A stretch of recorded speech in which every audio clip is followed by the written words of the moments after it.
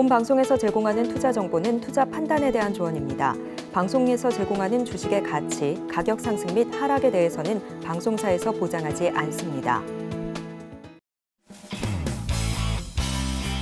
시청자 여러분 안녕하십니까? 깊이 있는 insight로 여러분들의 투자를 잘 이끌겠습니다. 저는 강관우입니다. 저는 이혜은입니다. 간밤에 미국 시장 다우존스는 조금 뭐 약하게 끝났습니다만은 나스닥 시장은 잘 끝났습니다. 어제 CPI 숫자가 나왔는데요. 뭐 전체적으로 시장 생각보다 약간 낮게 나오면서 인플레이션 우려 조금은 가시는 것 같고요. 해서 오늘 김 PB 전문가와 함께 좀 알아보는 순서죠. 미장원, 미국 시장, 코인 시장 같이 좀 알아보겠습니다.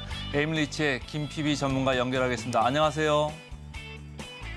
안녕하세요. 투자 쉽게 하자 김PB입니다.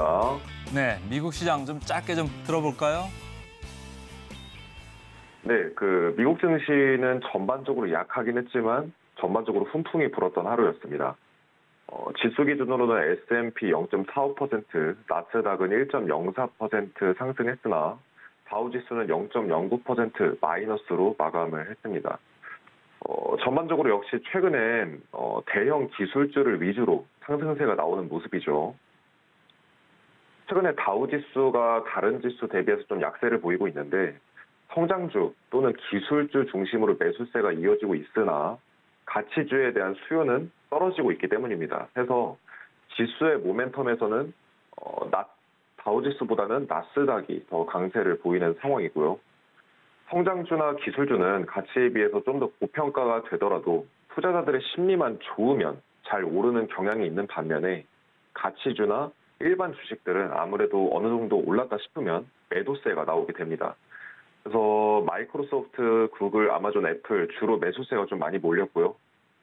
음, 마이크로소프트 1.7%, 구글 4%, 애플 1%, 그리고 아마존 3.3% 수준으로 상승해서 마감했습니다. 그리고 어젯밤 CPI가 이제 시장에 긍정적으로 발표가 되면서 시장 분위기가 좀 괜찮았거든요.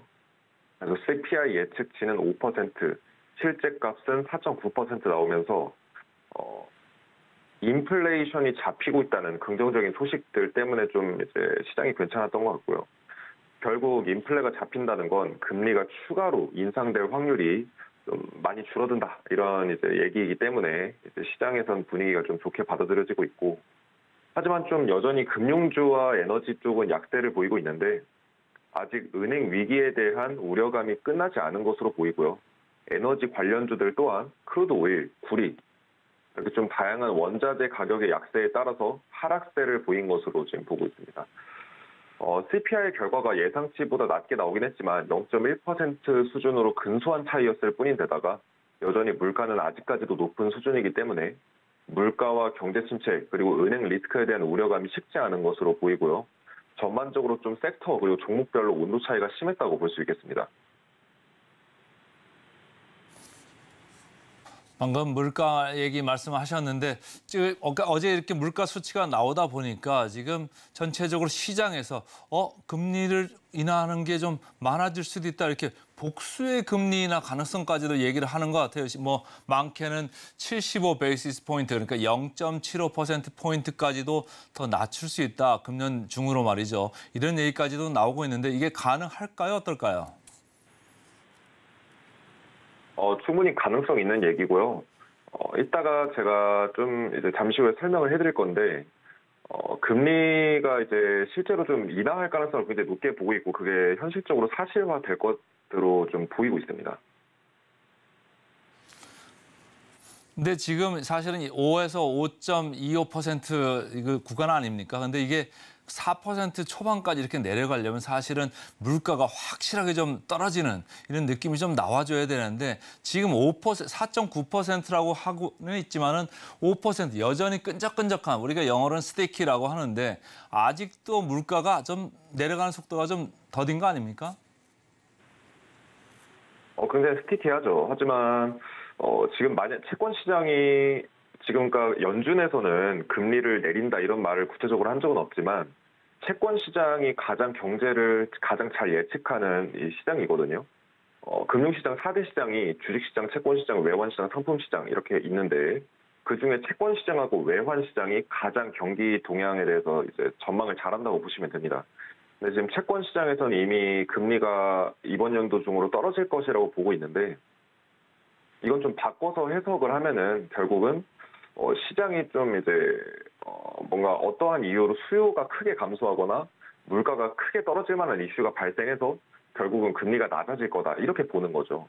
근데 결국은 이거는 뭐 경제 침체가 발생할 거다 이렇게 보는 것과 마찬가지입니다. 왜냐하면 이렇게 높은 물가 수준을 크게 떨어뜨릴 수 있는 거는 경제 침체밖에 없거든요. 자, 종목 이슈로 다시 좀 넘어가서요. 구글이 간밤에 이제 4%나 올랐습니다. 아무래도 생성형 AI에 대한 기대감들이 좀 있고 우리나라에도 AI 관련주가 상당히 많거든요. 이거 어떻게 좀 해석을 해야 될까요? 어, 구글이 4% 상승한 거는 이제 구글 AI 챗봇인 이제 바드가 오픈된다는 소식이 들리면서 4%가 급등을 했고요. 어, 이제 바드는 이제 결국 챗 GPT의 경쟁자죠. 해서 이제 바드를 전 세계 180여 개국에서 전면 공개할 거다 이렇게 소식이 들리면서 구글 주가가 특히 다른 종목들에 비해서 강세를 보였고요. 어, 이 이제 인스타그램이나 스냅챗, 페이스북 같은 이제 각종 이제 SNS나 이런 IT 서비스들이 1억 명의 사용자를 확보하는데 수년이 걸렸습니다. 뭐 길게는 40개월 이상도 걸렸는데 챗 GPT는 그걸 두 달 만에 끝내버렸죠. 두 달 만에 1억 명을 모았습니다. 그래서 확실히 AI 플랫폼 쪽이 먹거리가 있고 사람들을 끌어모을 수 있는 아이템이다. 이렇게 대기업들에서 확신을 하고 있기 때문에 이제 기업들의 AI 관련 경쟁이 갈수록 심화될 것으로 보이고요. 국내 이제 AI 관련 회사들에도 어, 수혜가 좀 있을 것으로 저는 보고 있습니다. 애플은 이제 어제 보니까 1% 정도 올랐고 마이크론 테크놀로지는 오히려 밀렸습니다. 애플 플러스 난 거 어떻게 좀 해석을 해야 될까요? 아무래도 이런 AI 경쟁들이 심화되고 할수록 애플에도 전반적으로 수혜면은 수혜였지 뭐 이제 손해가 갈 만한 부분은 전혀 아니거든요. 그래서 애플도 올라간 것으로 보이고요. 어, 특히 지금 마이크론 주가는 이제 지금 떨어지고 떨어진 상태로 이제 마감을 했는데 마이크론 주가를 이제 떨어진 이유를 좀 분석해 보니까 어, 좀 특별한 것은 없고 다른 반도체 주식들에 비해서 마이크론 실적이 빠르게 악화하고 있는 편이더라고요. 그리고 적자 폭도 다른 회사들에 비해서 더더욱 빠르게 확대가 되고 있어서 그런 것으로 추정이 됩니다. 그래서 특히 다른 반도체 기업들에 비해서 마이크론의 경우엔 이렇다 할 만한 주목할 만한 점이 보이지 않아서 투자자들이 메리트를 느끼지 못하는 것으로 보고 있고요. 현재는 일부 종목에 좀 쏠림 현상이 심합니다. 예를 들어서 뭐 반도체면 엔비디아 아니면 뭐 AMD 뭐 예를 들어서 뭐 이제 주식 시장이면은 뭐 애플, 마이크로소프트 이런 대형주 이쪽으로 이렇게 쏠림 현상들이 심한 시장이다 보니까 그래서 마이크론 주가가 좀 하락한 것 같습니다. 애플 같은 경우에 자사주 매입 이런 뉴스도 계속적으로 주가에 좀 영향을 주고 있다고 봐야 될까요? 아, 네, 그럼요. 그 애플 같은 경우에는 한 자료에 따르면 애플은 지난 10년 동안 자사주 매입에 무려 6천억 달러를 썼다고 합니다.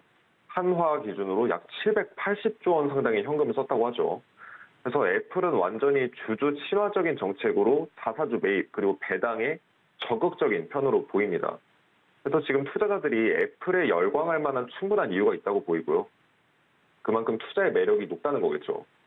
어, 애플 같은 경우는 현재 관점에서 사실 완벽에 가까운 종목입니다. 왜 그러냐면 많은 기관 투자자들이 사랑하고 있고 전설적인 투자가 워렌 버핏을 비롯한 다양한 사람들이 투자하고 있으며 애플을 이제 배당하고 자사주 매입 주주 친화적인 정책을 통해서 계속해서 배당하고 자사주 매입 지속적으로 해나가고 있고 강력한 브랜드 가치를 갖고 있죠.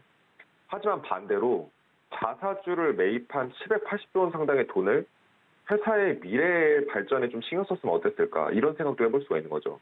회사의 미래를 더 발전시켜 나갈 인재를 영입하거나 연구 개발을 쓸 수 있는 돈임에도 이제 주주를 위해서 자사주 매입을 했, 했다는 거거든요.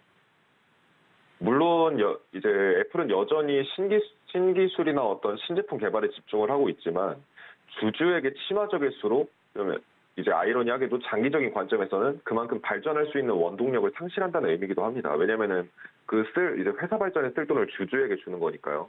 그래서 아직까지는 워렌 버핏이 투자 비중의 거의 절대적인 부분을 애플에 투자하고 있는 만큼 아직까지 장기적인 미래의 방향성은 사실 애플이 상당히 괜찮을 것으로 보이고요. 위험 신호 중에 하나는 워렌 버핏이 애플을 점진적으로 처분해 나가거나 경제 침체 리스크가 발생했을 때 이 부분을 좀 주의하셔야 될 것으로 봅니다. 자, 애플 얘기 말씀을 해 주셨는데 최근에 미국 은행 이슈도 좀 계속적으로 언급을 해 주시고 있잖아요. 오늘 뭐가 있을까요? 아, 그 미국 은행 이슈 관련해서 좀 몇 가지 말씀드리고 싶은데 이 사실 이제 미국 은행 이슈 말씀드릴 때 또 금리에 관한 부분을 또 말씀을 안 드릴 수가 없죠. 지금 이제 CPI가 긍정적으로 발표된 이후에 다음 6월에 있을 금리 발표에서 금리 인상될 가능성이 일단 매우 크게 떨어졌습니다. 우리가 은행 이슈에서 금리를 중요하게 봐야 되는 이유가 뭐냐면 결국 금리가 빠르게 인상되거나 금리가 높게 유지되면 은행에는 굉장히 부정적인 이슈로 흘러가거든요. 근데 보통 이제 이 패드워치 자료를 보시면은 패드워치에서 예상하는 대로 보통 금리가 흘러갑니다. 근데 지금 상황 봤을 때는 금리 인상은 더 이상 없을 거다. 지금 이런 식으로 시장에서는 보고 있거든요. 하지만 뭐 시장 분위기에 따라서 언제든지 이 확률은 바뀌곤 하기 때문에 계속 예의주시해서 보시면 좋을 것 같고요.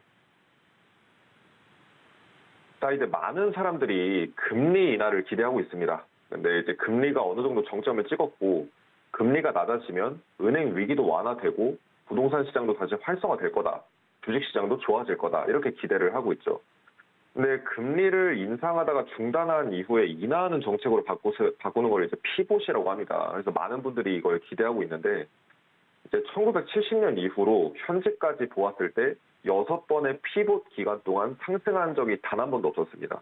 특히 지난 두 번의 경제 위기에서는 지수가 각각 닷, 닷컴 버블 때 38% 마이너스가 났고요. 금융 위기 때 마이너스 50% 지수가 하락을 하면서 시장이 붕괴했습니다.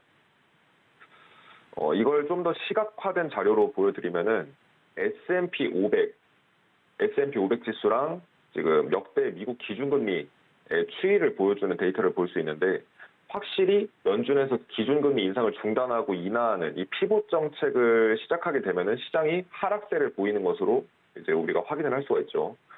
그래서 연준은 물가가 잡히기 전까지는 절대 금리를 내리지 않습니다. 그리고 보통 연준이 금리를 내리는 거는 경기를 완화하고 긴축을 완화하면서까지 경제의 엑셀을 밟아줘야 할 만한 이런 이유들이 있을 때만 이제 금리를 내리거든요. 가령 예를 들면 경제 침체, 경제 위기, 자산시장 폭락, 소비자들의 수요 급감 이런 것들이 발생할 때만 이제 연준은 금리를 내리고 있고요. 내지는 예상될 때 그렇게 될 거라고 예상될 때 금리를 내리고 있습니다. 그래서 이런 시기에는 경기를 잘 타는 반도체나 성장주 이런 주식들보다는 경기를 잘 타지 않는 경기 방어주 그리고 회사 규모에 비해서 현금을 넉넉하게 갖고 있는 자산주 그리고 경제 침체에도 절대 회사가 망하지 않거나 더 잘 될 수 있는 경쟁력이 있는 이런 회사들을 공략하는 게 좋을 것이라고 보고 있고요. 가장 좋은 건 현금 보유량을 늘리는 전략이라고 볼 수 있겠습니다.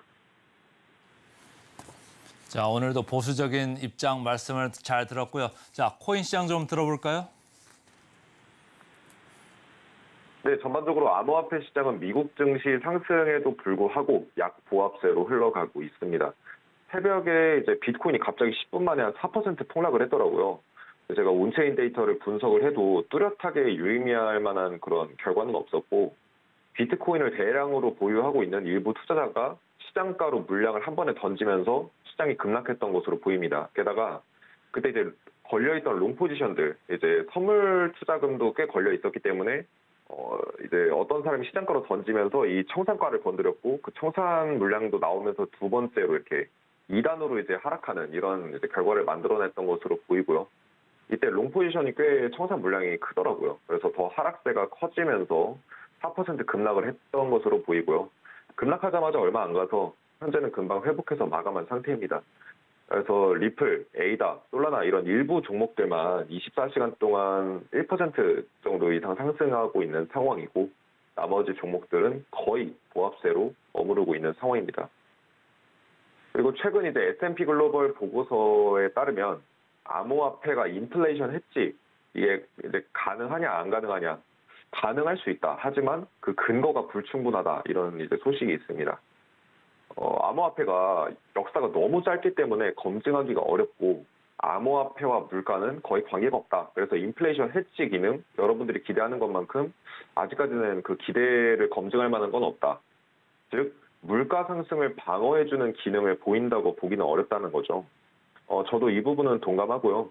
아직 이제 암호화폐 기술력이 어, 2000년대 마이크로소프트나 애플 같은 이런 기술력이 기대되는 종목이지 사실 안전자산으로는 검증이 한참 덜 됐습니다. 어, 저도 이제 암호화폐를 개인적으로 좋아하고요. 미래가 굉장히 밝다고 보고 있지만 현실적으로 데이터들 그리고 통계들을 보면 아직은 안전자산이나 인플레이션 해지 자산이라고 보기는 어려울 것 같습니다. 시장에서 좀 오랜 시간 검증이 필요할 것 같고요. 대신 경제의 유동성이 풀리고 경제가 좋아지면 가장 큰 폭으로 상승할 가능성이 높은 자산이 바로 비트코인이죠. 실제로 요 근래 몇 달 동안 시장 상승의 가장 큰 폭으로 상승을 해줬던 게 바로 비트코인이거든요. 다른 지수들하고 상승폭을 비교해 보면 압도적입니다. 그래서 경제와 많이 민감하게 동조화돼서 움직이고 있는 게 바로 비트코인이기 때문에 경제가 바닥을 찍고 회복할 때 크게 올라줄 수 있을 것 같아서요. 그 부분에 기대가 되고 있습니다. 코인 시장까지 잘 들었습니다. 오늘 감사합니다.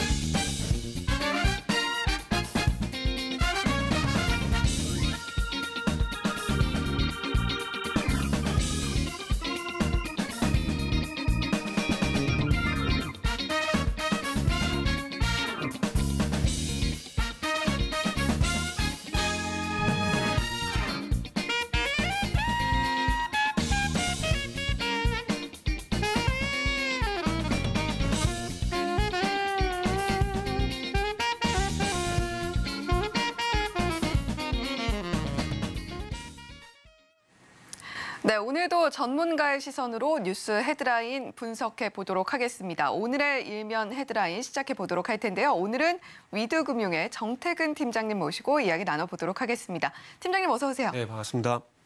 네, 오늘도 우리 시청자 여러분들을 위해서 헤드라인 꼼꼼하게 선정해 오신 걸로 알고 있는데 자, 어떤 내용인지 화면 통해서 만나보겠습니다.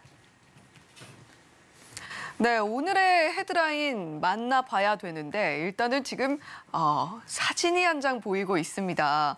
자, 어, 이게 뭔가요? 그 이제 시장에서 좀 많이 기대를 하고 있는 애- 그 애플의 XR 기기, MR 기기라고 좀 보시면 좋을 것 같아요. 그래서 네. 이제 스마트폰, 태블릿 PC에 이어서 이제 새로운 어떤 스마트 기기가 이제 나올 예정입니다.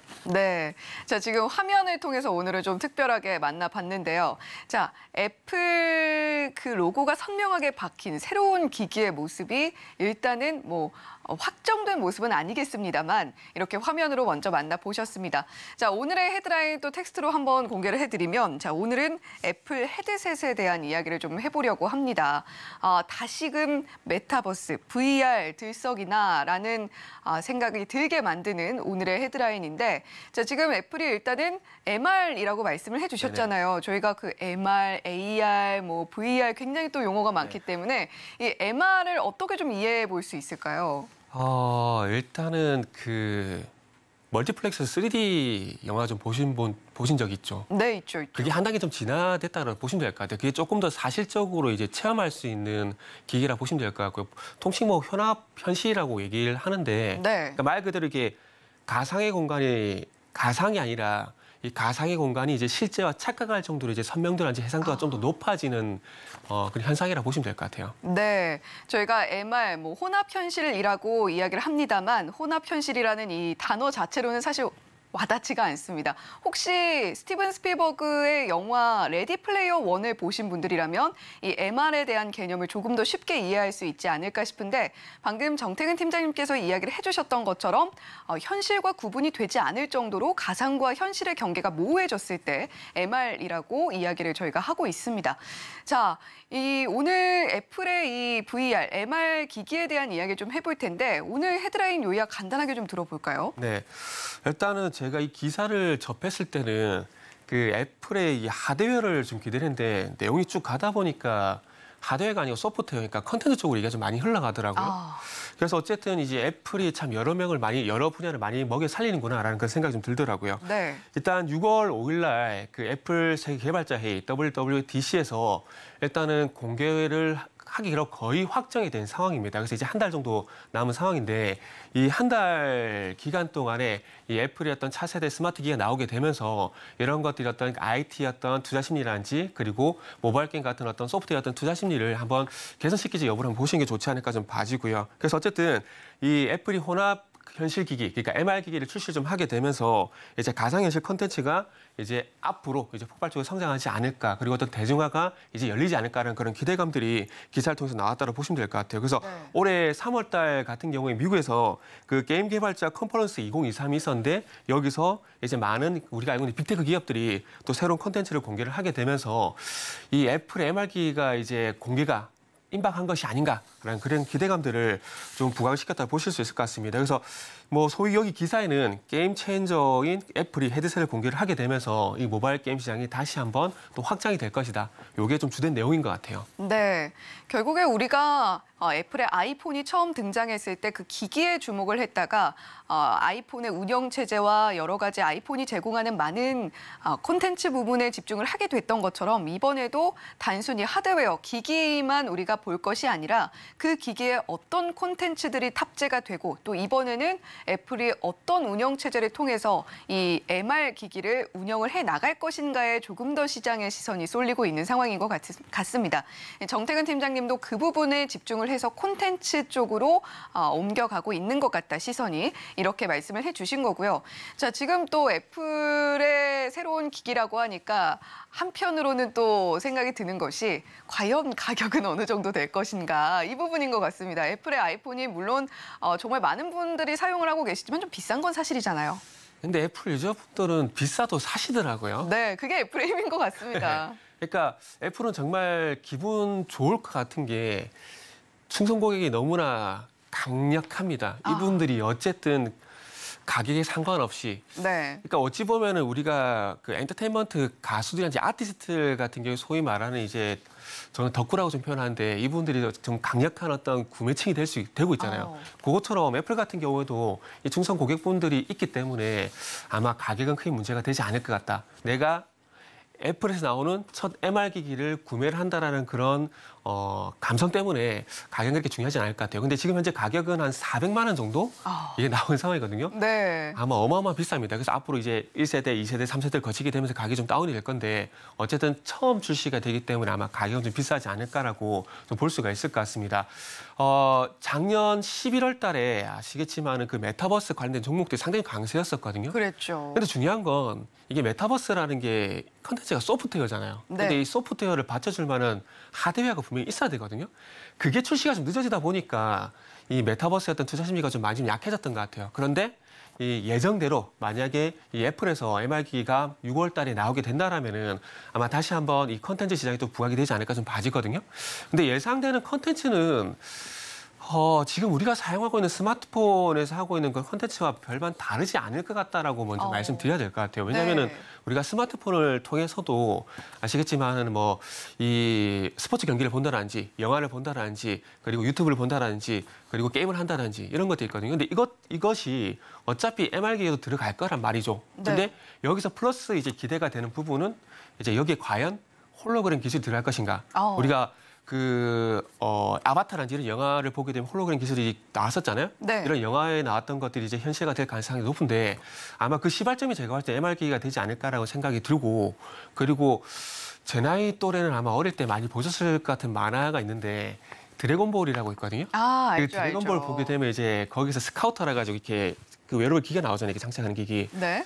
아마 그런 식으로 나오게 되면은 아마 정말 대중화 좀 더 빨라지지 않을까라는 생각이 들어요.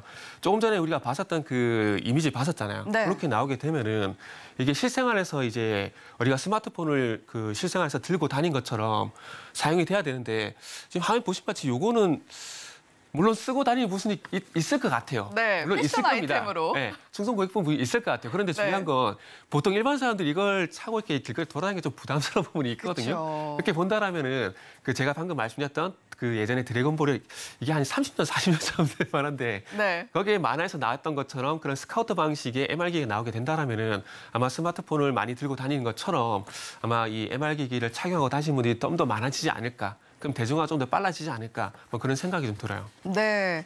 일단 지금 가격을 들었을 때는 굉장히 겁이 날 정도로 비싸다라는 생각은 듭니다. 하지만 이 애플이 선도하고 있는 이 문화 콘텐츠의 힘이 과연 이번에는 또 어느 정도까지 힘을 발휘를 해줄 것인가 이 부분과 관련해서 어, 얼리어답터들이 먼저 움직여준다면 그래도 어, 흥행 기대해 볼 수 있지 않을까라는 이야기 해주셨습니다. 하지만 무엇보다 중요한 것은 지금까지 이 메타버스 관련 기업들이 소프트웨어 쪽에서 영위해 오던 사업, 사업들이 애플의 이 MR 기기가 출시됨으로 인해서 어떤 하나의 하드웨어까지 갖추게 된다면 메타버스 관련 기업들의 경우에는 조금 더 탄력 받아줄 수 있다인 것 같은데요. 자 오늘 투자 키워드 잡아본다면 어떻게 좀 잡으면 좋을까요? 어, 너무나 당연한 얘기지만 이제 수혜, 섹, 수혜 섹터 찾기. 네. 그러니까 어느 업종, 어느 종목이 수혜가 될 것인가를 좀 찾는 게 좀 중요할 것 같아요. 일단은 이제 그 이 MR 기기에 이 OLEDoS라는 새로운 방식의 디스플레이가 들어가게 될 겁니다. 네. 그러면은 일단 이 디스플레이가 중요한 이유가 뭐냐면 그 우리 앵커님께서는 그 3D 영화를 잘 보신지 모르겠지만 저는 잘 안 보거든요. 어. 왜냐하면 이게 약간 어지럼증이 생겨 멀미날 같은 그런 기분이 있어가지고 좀 잘 안 보거든요. 근데 이게 왜 그러냐면은 이 데이터 트래픽 때문에 그래요. 아. 그래서 이 데이터 트래픽을 그러니까 이게 3D 안경 그리고 이제 4D 이런 것들이 나오잖아요. 이런 것들은 아무래도 이 컨텐츠 용량이 크다 보니까 데이터 트래픽이 발생이 될 수밖에 없거든요. 근데 이런 문제를 해결하기 위해서는 두 가지 방법이 있습니다. 네. 하나는 5G. 그러니까 어찌 보면은 이렇게 예를 들게요. 그 4G는 2차선 그러니까 왕복 2차선을 보시면 되고요. 네. 5G는 왕복 8차선이라 보시면 될 것 같아요. 어. 그러면 똑같은 교통량이 지나갈 때 2차선 왕복 4차선보다는 8차선이 아무래도 좀 원활하게 갈 수가 있잖아요. 그래서 5G가 그런 개념이라 보시면 될 것 같아요. 아. 그래서 이 5G 쪽으로 이제 옮겨가게 되면은 데이터 트래픽이 그런 식으로 해결이 될 수가 있고요. 그리고 두 번째는 뭐냐면은 디스플레이 문제인데 이 조금 전에 보셨지만은 안경처럼 씁니다. 그렇기 때문에 디스플레이가 눈과 너무나 가깝거든요. 이렇게 되면은 조금 전에 제가 말씀드렸듯이 너무 디스플레이가 너무 가깝다 보니까 여기서 발생되는 어지럼증 이런 부분도 있습니다. 어. 근데 이런 것들을 해결하기 위해서 초고 해상도 네. 이 디스플레이 기술이 필요한 거죠. 마치 정말 현실 같은. 네, 그렇죠. 그것도 있고 그거를 정말 체감할 수 있게 우리가 관람을 하려면은 이 디스플레이에서 발생되는 이런 그 좀 전에 말한 트래픽 문제 이런 것들을 해결을 해야 되거든요. 해결하기 위해서는 이제 초고 해상도로 가야 되는데 그러다 보니까 소위 말하는 메타버스 디스플레이라고 표현을 하기도 합니다. 그래서 이 기존의 OLED는 그게 쉽지가 않다라고 해요. 그러다 보니까 OLEDoS, OLED 온 실리콘이라고 그러는데 요거는 기존에 이 OLED 같은 경우는 플라스틱이라든지 유리 기판 위에다가 이제 OLED 증착하는 방식인데 네. 이 화면을 보시면은 요게 반도체를 만든 반도체 웨이퍼예요. 그러니까 네. 이 반도체 웨이퍼 위에다가 기존의 OLED 물질 증착하는 방식인 겁니다. 음. 그러다 보니까 요 반도체 기초 기술을 통해 가지고 초고해상도 문제, 초고해상도 이 어, 초고해상도를 구현할 수가 있고 네. 그리고 좀 전에 제가 말씀했던 이제 저 같은 분- 저 같은 사람들은 어지럼증을 해결할 수가 있다라는 거죠. 어. 그렇게 된다면 아무래도 대중화가 좀 더 빨라질 수가 있다라는 거죠. 그리고 아마 이런 것들뿐만 아니라 아까 제가 우스갯소리 드렸지만 이제 스카우터 이런 게 나오게 되면 투명 디스플레이잖아요. 네. 그래서 그런 디스플레이도 앞으로 나올 가능성이 높기 때문에 디스플레이 업체를 먼저 좀 봐야 될 것 같습니다. 그래서 이제 LG 디스플레이 같은 경우에는 일단은 아마 2024년도가 돼야 어, 이 OLEDoS가 나올 예정입니다. 그래서 지금 이제 MR기기 1세대, 그러니까 애플, 애플에서 나오는 MR기기 1세대 같은 경우에는 지금 소니에서 나오는 OLEDoS를 이제 장착을 한다라고 합니다. 근데 2세대부터는 이제 LG 디스플레이 쪽으로 이제 어, OLEDoS를 납품받을 계획이라고 하는데 이게 애플 같은 경우에는 경쟁사 쪽으로는 납품을 잘 안 줘요. 그러니까 예를 들게 되면은 애플이 파운드리를 삼성전자 쪽으로 안 주는 것 똑같은 맥락이라 보시면 될 것 같습니다. 그래서 네. 지금 LG 디스플레이가 긴급하게 이제 개발을 하고 있고요. 그리고 삼성 디스플레이 같은 경우에는 그 아산 공장에 A2 라인 내에 5.5세대 이 LCD 라인이 있는데 요거를 OLEDoS 라인으로 이제 전환을 하고 있습니다. 그래가지고 올해까지 파일럿으로 한 2,800장 정도 생산할 수 있는 capa를 만들고 이제 하반기에 본격적으로 월 7천 장 정도 생산할 수 있는 capa를 완성한다고 합니다. 근데 이 삼성 디스플레이도 서둘러야 된 이유가 뭐냐면 네. 내년에 삼성전자도 애플에 이어서 MR기기가 나올 예정입니다. 아. 그러면 여기에 들어갈 디스플레이가 빨리 만들어져야 된다는 거죠. 그렇기 때문에 삼성전자도 삼성전자도 삼성 디스플레이도 좀 바빠졌다 보시면 될 것 같고요.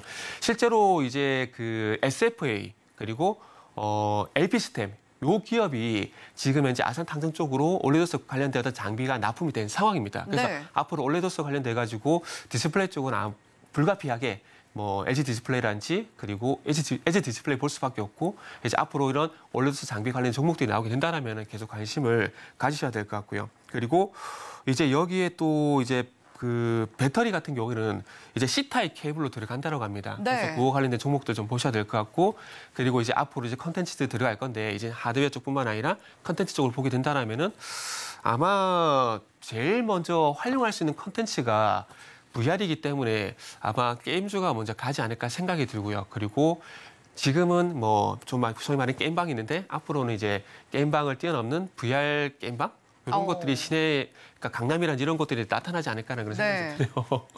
네, 여러 가지로 우리가 생각해 볼 수 있는 부분들이 일단은 첫 번째로 5G가 있겠고요. 그리고 디스플레이 쪽도 우리가 주목을 해봐야 되고 어, 특히 정태근 팀장님께서는 게임 콘텐츠 쪽이 상당히 좀 주목을 받을 수 있게 되지 않을까라는 이야기도 함께 전해주셨습니다. 더불어서 배터리 이야기도 있는데 특히 지금 뭐 애플의 MR 기기에 있어서는 상당 부분이 베일에 쌓여 있기는 합니다만 지금 어, 배터리 팩에 대한 이야기도 함께 나오고 있기 때문에 일단은 C 타입으로 충전이 되고 뭐 2시간 정도 아, 충전하지 않고 사용할 수 있는 그런 식으로 영위가 될 것이다라는 이야기는 나오고 있습니다만 우리가 충전 문제도 함께 주목을 해보면 좋겠다라는 이야기를 해주셨습니다. 자, 지금 뭐 뒤쪽에 화면이 나오고 있는데 이게 좀 홀로그램이다라고 생각을 해보면 될까요? 이런 식으로 아마 지나 그러니까 일단은 그 실내에서 사용하는 어떤 MR기 같은 이런 식으로 진화가 좀 되지 않을까라는 봐집니다. 그러니까 네. 이 MR기를 쓰게 되면은 이런 화면들이 구현이 되게 되면서 이제 실제로 여기서 작업을 한다라는지 그리고 실제적으로 이제 우리가 PC를 이용해서 작업을 하는 것처럼 똑같이 이용이 될 건데 어. 그리고 배터리는 그 무게 때문에 이 MR기에 장착이 되는 게 아니라 연결하는 방식으로 나온다고 그럽니다. 그래서 네네. 만약에 안경을 이런 MR기를 이렇게 쓰게 되면은 아마 허리라든지 아. 요 여기에 장착이 되지 않을까 생각이 되는데 상당히 여기다 보기에는 좀 네. 예뻐 보이진 않을 것 같습니다. 그렇죠. 아무래도 그러다 보니까 이게 이제 배터리 같은 경우도 이제 좀 더 소형화가 되고 이제 여기 장착할 수 있는 그런 쪽으로 가야 되는데 그래서 아마 전고체 배터리가 상용화 좀 쉽지 않은 걸로 알고 있는데 아마 네. 배터리 좀 진화가 좀 그래서 될 것 같아요. 근데 지금 현재 기술로는 이 저도 이게 기사를 좀 많이 찾아봤는데 어 장착 여기 MR 기기에 장착이 된 게 아니라 이제 연결하는 방식으로 나온다 그러니까 아마 애플에 관심이신 분들 같은 경우 참고를 좀 하시면 좋지 않을까 생각이 좀 들고요. 어 그래서 어쨌든 이제 MR기기 나오게 되면 이제 홀로그램 이런 부분도 나올 건데 이런 것들에 대해서 이제 투명 디스플레이 이런 기술도 좀 진화가 될 수가 있기 때문에 네. 어 한번 IT 쪽 같은 경우는 애플 때문에 지금의 어떤 투자 심리가 좀 좋지는 않잖아요. 이런 투자 심리가 좀 반전되는지 여부를 한번 보시면 좋을 것 같아요. 네.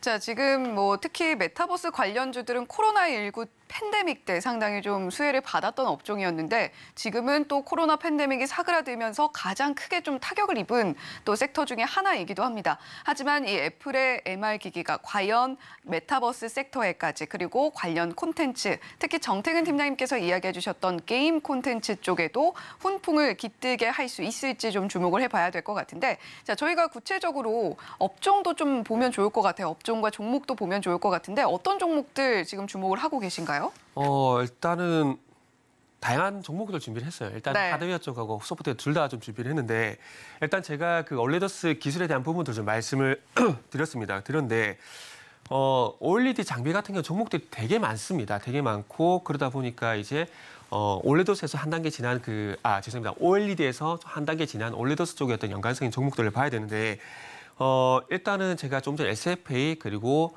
AP 시스템이 삼성 디스플레이 쪽 장비를 공급했다 좀 말씀드렸는데 그거 외에도 라온텍이란지 선익 시스템이란지 이런 종목도 좀 보시면 좋을 것 같아요. 네. 근데 라온텍 같은 경우 는 신규 상장 종목인데 상장지 얼마 되진 않았습니다. 그런데 이 회사는 주목을 해야 될 이유가 OLEDoS 관련 분야에 대해서는 이 회사를 대체할 만한 회사가 지금 이제 엄- 전무한 상황이라 보시면 될까요? 그러니까 거의 뭐 이 회사가 유일하다 좀 보시면 되는데 어. 이 회사가 이 회사 같은 경우에는 OLEDoS 전용 구동 컨트롤러 그 system on chip을 현재 개발을 했고요. 그러면서 그 AR인지 VR 글라스에 들어가는 마이크로 디스플레이 솔루션을 상용을 했습니다. 그리고 전체 매출의 절반 정도가 현재 마이크로 디스플레이 정도에서 마이크로 디스플레이에서 발생이 되고 있는 상황들이거든요. 그래서 아마 어, 지금도 주가가 괜찮은 상황인데 아마 앞으로 이제 OLEDoS의 어떤 기가 공개가 되고 그리고 이런 기기들이 좀 더 많이 나오게 된다라면은 이 회사의 주가는 좀 더 level up이 될 가능성이 상당히 높다. 어. 이렇게 좀 보시면 좋을 것 같고요. 네. 그리고 이제 OLEDoS의 또 가장 중요한 그러니까 OLEDoS 그 OLED 공정 중에서 가장 중요한 부분이 노광하고 증착 공정인데 이 소형 증착기 같은 경우는 선익 시스템을 대체할 만한 회사가 없습니다. 그래서 LG 디스플레이가 야스와 그 야스 그리고 선익시스템과 같이 이 증착 장비를 개발하려고 했어 개발을 실제로 하려고 했었거든요. 네. 했었는데 일단은 뭐 대형 OLED 쪽 같은 경우는 이 애플이 캐논 토키 사 쪽을 요청했기 때문에 어쩔 수 없이 쓸, 써야 되는 상황이고요. 네. 하지만 OLEDoS 쪽 같은 경우는 소, 그 소형 증착 장비는 이 선악, 선익 시스템이 수혜가 될 가능성이 상당히 높기 때문에 보시면 좋을 것 같습니다. 그리고 조금 전 이제 배터리 C type 말씀을 드렸는데 이 C type 관련돼서는 아마 아실 겁니다. 신화콘텍. 이 회사가 이제 커넥터 관련돼 가지고 국내 1위 업체인데 그 모바일이란지 헤드셋에 들어가는 C type 플러그를 현재 생산을 하고 있습니다. 그렇기 때문에 어 그리고 참고사항 말씀드린 아이폰 15 같은 경우도 네. C type으로 바뀐다 그러니까. 어, 한번 참고를 해보시면 좋을 것 같아요. 그래서 이 C type으로 바뀌게 되면서 이제 신화 콘텍이라는 종목을 관심 가져보시고요. 그리고 이제 메타버스라든지 NFT 관련해서는 게임주가 많이 조금 노출이 되는 상황입니다. 근데 네. VR 쪽 같은 경우는 아직까지 조금 그 많지 않거든요. 그래서 한 두 종목 정도만 좀 말씀을 드릴 건데 아마 앞으로 많이 나오겠지만 지금 현재 개발하고 있는 회사는 스코넥하고 이제 컴투스 요 두 기업을 좀 보시면 좋을 것 같아요.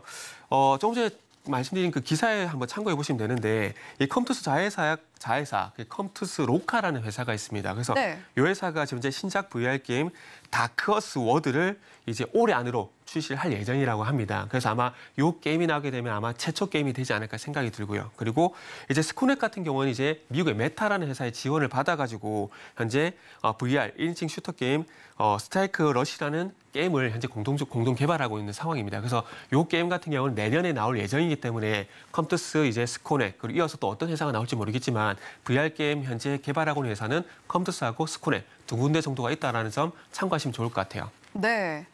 자, 지금 정말 다양한 분야에서 우리가 수혜를 볼 수 있는 종목들을 정태근 팀장님께서 짚어주셨는데, 자, 그렇다면 5G 관련한 종목들도 저희가 주목해보면 좀 좋을까요? 이번에 같이 네. 좀 수혜를 받을 수 있을까요? 주가적으로? 어, 5G는 지금 이제 이음 5G라 그래가지고 특화망 쪽으로 한 구역에만 이제 그, 어, 이 뭐라 그러죠?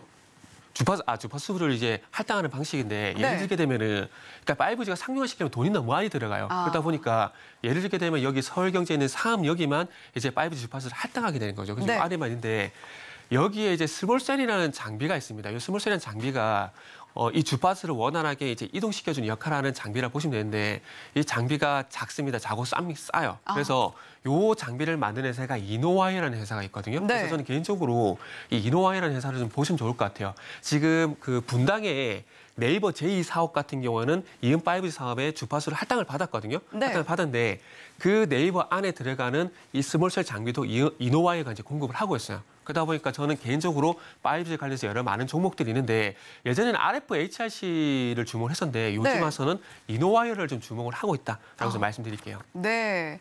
요즘 떠오르는 5G 종목까지 정태근 팀장님께서 꼼꼼하게 짚어주셨습니다. 자, 지금 뭐 오늘 애- 애플의 이 VR 기기와 관련해서 정말 많은 부분들이 상세하게 뜯어볼 수 있었던 시간이었던 것 같네요. 자, 지금까지 위드금융의 정태근 팀장님과 함께 이야기 나눠봤습니다. 팀장님 오늘 말씀 고맙습니다. 네, 감사합니다.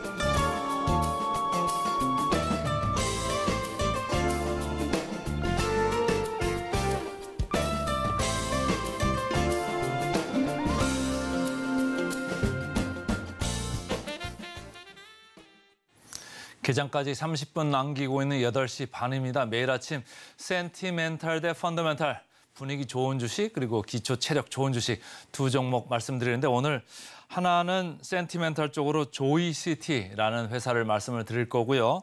펀더멘탈로는 기아 이렇게 말씀을 드리겠습니다. 어제 제가 현대차 이렇게 말씀을 펀더멘탈로 드렸었는데 주가가 상당히 강했습니다. 기, 뭐, 뭐 전체적으로 시장이 좀 밀렸습니다만은 주가는 강했기 때문에 여러분들도 좀 즐기고 있다 이렇게 저는 강력하게 믿고 싶고요. 오늘 센티멘탈 조이시티부터 먼저 말씀을 드리겠습니다. 이 회사는 게임 회사입니다. 게임하는 회사고 1분기에 지금 전략 게임은 부진하다. 그러나 비용 절감을 하고 있다 이런 얘기를 하고 있어요. 마케팅 비용 쪽에 좀 나갈 것 있었는데 거기서 조금 비용이 좀 덜 나가고 있습니다. 그래서 그게 좀 끝나가고 있고 신작 부재가 좀 아직은 아프다 이런 얘기예요. 그런데 하반기에 가면서 신작 세 가지가 지금 올 거라고 이렇게 보이고 있습니다. 그래서 미래에셋증권에서는 하반기 신작 라인업 세 개 이렇게 얘기를 했어요. 그래서 첫 번째가 디즈니 나이츠라고 이런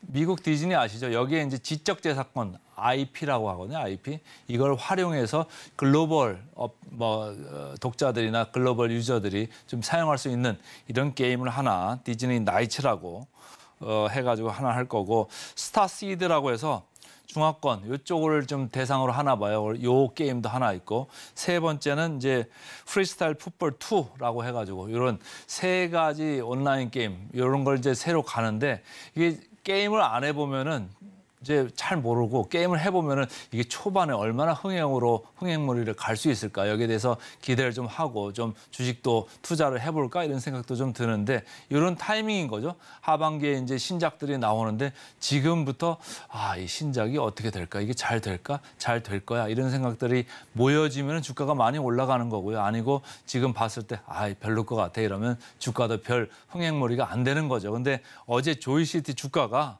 조금 많이 움직였습니다. 어제 보시면 12.68%나 이렇게 떴네요. 누가 샀나 봤더니 외국인도 사고 기관도 사고. 근데 사는 게 너무 급하죠? 상당히 급하게 샀습니다. 그래서 차트를 보시면 주가 또한 이렇게 급하게 올라갔어요. 그래서 제가 웬만하면 이렇게 급하게 올라가는 주식들을 분위기 아무리 좋아도 제가 센티멘탈로 안 가져오는데 좀 급하게 올랐고 좀 바닥권인가 이런 생각이 들 정도로 value도 많이 쳐져 있고 해서 제 레이더에 걸렸다 이렇게 보시면 되고 제목을 그래서 기관 외국인의 거센, 거센이라는 형용사를 넣습니다. 그래서 아주 가열차게 이렇게 매수를 했다. 이렇게 보시면 되고 자 아까 value 말씀드렸습니다마는 이 valuation이 정당화된다는 얘기는 아니고요. 역사적인 밴드로 봤을 때는 하단에 있다. 그리고 반등을 지금 강하게 줬다. 이런 말씀입니다. 그래서 역사적으로 하단을 봤을 때는 2배 정도 이게 하단으로 지금 나와 있네요. 여기서는 조금 하단에 왔으니까 되튀는 이런 모습을 보였다. 이렇게 좀 이해를 하시면 좋을 것 같고요. 그래서 이렇게 강한 반등이 급하게 나올 때는 여러분들의 대응은 중장기가 아니고 단기적으로 대응을 하시는 게 맞습니다. 분위기 좋은 주식은 분위기 좋을 때만 보시는 게 맞아요. 분위기 좋은 거를 buy and hold 그러니까 매수해 가지고 중장기로 끌고 가신다. 그거는 제가 볼 때는 권하지 않는 그런 전략이 될 것 같고요. 이런 분위기 좋은 주식들은 분위기 좋을 때만 잠깐 잠깐 보시면 됩니다. 자, 목표 주가 괴리율 이렇게 게임 업체들의 PBR 이렇게 valuation들이 다들 제 마음에는 안 듭니다. 이렇게 펄어비스 3.6, 조이시티도 낮지는 않죠. 2.4, NC 2.3, 카카오 게임즈 1.8, 크래프톤 1.6. 그래서 전체적으로 시장에서 어, 평균으로 하는 이런 PBR보다는 두 배 내지는 세 배 이렇게 높은 게임 업종입니다. 그런데 게임 업종은 늘상 그래 왔어요. 이렇게 항상 성장성에 대해서 좀 프리미엄을 시장에서 주는데 저는 개인적으로 프리미엄 주고 싶지는 않은 게임 업종이라 이렇게 몇 번 말씀을 안 드리는데 그래도 여기는 역사적인 밴드라는 게 있다. 그 점을 유념하시면서 단기적으로 좀 분위기 좋을 때만 어, 반응을 하셔라. 그래서 오늘 sentimental로 조이 시티 먼저 말씀을 드렸습니다. fundamental 이제 주식 말씀드려야죠. 어제에 이어서 오늘도 자동차 주식 가져왔습니다. 기아. 어제 현대차 그룹 에서 현대차만 얘기를 했거든요. 어제 이 차트를 어제 보여드렸어요. 하루치를 더 업데이트를 해서 가져왔는데 자 어제도 얘기 말씀드릴 때 기아가 먼저 이렇게 막 치고 나가고 있고 현대차 따라가고 있다 이런 얘기를 했었어요. 근데 현대차도 좋은데 오늘은 기아 여기가 더 지금 폭풍 질주를 하고 있어서 기아를 오늘은 가져왔습니다. 그러니까 연 이틀 가져온 거죠. 기관 외국인이 계속적으로 쌍끌이를 지속을 하고 있습니다. 기관도 뭐 사고 있지만 외국인이 사는 게 아주 아주 강력하게 사고 있습니다. 이 모습은 어제 현대차 차트에서 거의 유사했습니다. 현대차, 기아를 외국인이 지금 주도하고 있습니다. 여러분들이 보실 때 별로 안 올라가는 것 같고 아 펀더멘털 종목으로 얘기하는 것들은 느릴 거야 이런 생각을 이제 하시잖아요. 근데 주가 수익률을 보세요. 지금 시장은 서서히 지금 침강, 하락 이쪽으로 지금 방향을 잡고 있지 않습니까? 그리고 여러분들이 아주 광분하고 흥분하게 만들었던 2차 전지, 양극재, 음극재, 분리막, 전해질 이쪽 다 이렇게 주가들이 지금 조정을 상당히 심하게 받고 있고 어제 같은 경우에 에코프로 60만 원 깨고 내려가지 않습니까? 저는 뭐 여기서도 더 하방을 열어놔야 된다 이런 생각을 하는 사람 중에 하나인데 왜? valuation이 너무너무 높아요. 여전히 너무너무 높아서 저라면 뭐 저라면 오히려 공매도 이쪽을 치고 싶을 정도로 높은 그런 valuation들이고요. 이런 현대차나 기아 이런 회사들은 너무너무 쌉니다. 우리나라 전 업종의 전 종목을 그 대비해 봐서도 상위 0.1%에 들 정도로 아주 싼 대형 업체다 이런 점을 감안하시면 지금 분위기 좋은 대로 막 물려다니실 게 아니고 이런 fundamental 종목에 계속적으로 공부를 하시고 노트를 달아놓으시고 돈 있을 때마다 분산을 해가지고 뭐 한 달 전에도 사고 한 달 후에도 사고 계속적으로 사서 오히려 옛날에는 삼성전자를 자식한테 물려주고 싶은 주식이라고 이제 많이 신문지상에서 나오고 했습니다만 저 같으면 기아나 현대차 이런 거를 생각을 할 수도 있겠다 이런 생각이 들 정도로 아주 지금 주가가 좋은 회사입니다. 자, 삼성증권에서 5월 8일자로 기아 수익성 이렇게 강조를 줬어요. 테슬라를 여기는 앞설 거라고 봤어요. 이 회사는 그 삼성증권에서는 기아 이 OP 마진 그러니까 영업 이익률을 12%로 좀 추정을 했더라고요. 시장 컨센서스보다는 좀 높습니다. 시장은 11%를 지금 보고 있습니다. 어쨌든 테슬라의 영업 이익률이 전 세계 1등의 전기차 업체 영업 이익률이 11%입니다. 자동차 업체가 10% 넘어가는 영업 이익률은요. 어마어마한 수익률입니다. 자동차 부품 업체들 다 보세요. 영업이익률 전부 다 7%, 8%, 5%도 있고요. 되게 물량 뛰기로 하는 경우가 많고 마진은 되게 작습니다. 왜 그렇습니까? 경쟁이 상당히 심하기 때문입니다. 그러나 이렇게 테슬라 같이 경쟁력 있는 업체, 소비자가 선호하는 업체들은 가격을 프리미엄을 받을 수가 있어요. 그래서 모피 마진이 11%나 나오는 건데 기아는 그거보다도 더 1%포인트 더 높게 12%까지 나올 수도 있다 라고 하는 게 삼성증권의 예상입니다. 물론 시장은 11% 테슬라랑 같이 보고 있어요. 이 11%는 현대차 OP 마진보다도 높은 영업 이익률이다. 그 점을 기억을 꼭 하시면 좋을 것 같습니다. 자, valuation 볼게요. valuation 이거 역사적 valuation 밴드잖아요. 그래서 중간 어제 이제 현대차 중간 정도 왔다 그러는데 요거는 중간 정도를 조금 넘어가고 있습니다. 그렇지만은 자, 이거 보시죠. 기아차, 현대차 보시면 현대차 PER이 지금 5배 정도에서 왔다 갔다 하고 있고 기아는 4배 수준입니다. 그러니까 현대차 어제 말씀드린 것보다도 오히려 1배 정도 더 낮다. PER 4배. 전기차 관련되는 양극재, 음극재 PER 얼마입니까? 60배, 70배, 80배 이렇게 하죠. 여기 4배입니다. 그러니까 이 점을 좀 유념하시면서 현대차, 기아 여러분들의 선호도에 따라 가지고 계속적으로 유념을 하시면 좋을 것 같습니다. 그래서 오늘은 센티멘탈로 조이시티 그리고 펀더멘탈로 기아 말씀드렸습니다. 네, 오늘도 시장에서 상당히 기대를 모으게 하는 센티멘탈, 펀더멘탈 종목들이었습니다. 게임주 중에서 혹시 보고 계시다면 조이시티가 최근에 아, 외국인과 기관의 매수세에 힘입어서 상당히 분위기 좋다라고 이야기해 주셨고 기초 체력이 아주 튼튼하게 올라가고 있는 기아도 우리가 한번 주목해 볼 만하다라는 의미에서 펀더멘탈 종목으로 소개를 해 주셨습니다. 자, 오늘 이어지는 증시 9에서는 개장 시황 꼼꼼하게 짚어드릴 예정이고요. 본 방송에서 제공해드리는 정보는 투자 판단에 대한 조언일 뿐 해당 종목의 가치와 수익률을 보장하지는 않습니다. 저희는 잠시 후에 다시 돌아오겠습니다. 시청해주신 여러분 고맙습니다.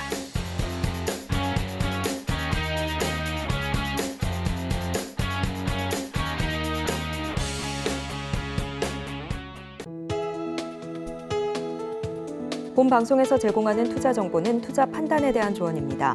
방송에서 제공하는 주식의 가치, 가격 상승 및 하락에 대해서는 방송사에서 보장하지 않습니다.